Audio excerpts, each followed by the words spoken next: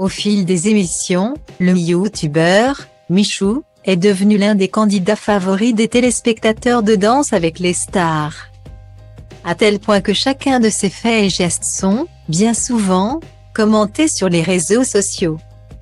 Et malgré toute l'affection que ces derniers lui portent, certains détails n'échappent pas aux admirateurs du jeune homme.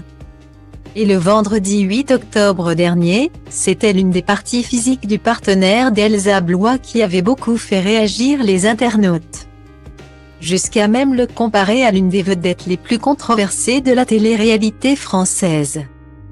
Effectivement, le postérieur de Michou avait fait parler de lui tout au long de l'émission Danse avec les stars. Michou a autant de fesses que Maëva Genam, il a plus de fesses que moi. Michou a des grosses fesses, c'est un délire, pouvions-nous lire sur les réseaux sociaux. Et pour calmer le jeu, l'influenceur avait dû prendre la parole via son compte Twitter. Vous avez kiffé mon boule ou quoi? avait-il plaisanté. L'humour est la meilleure des réponses. Surtout lorsque l'on a vécu le harcèlement étant plus jeune. C'est ce qu'a confié Michou quelques instants avant sa prestation sur le plateau de danse avec les stars pour le 9e prime du programme musical.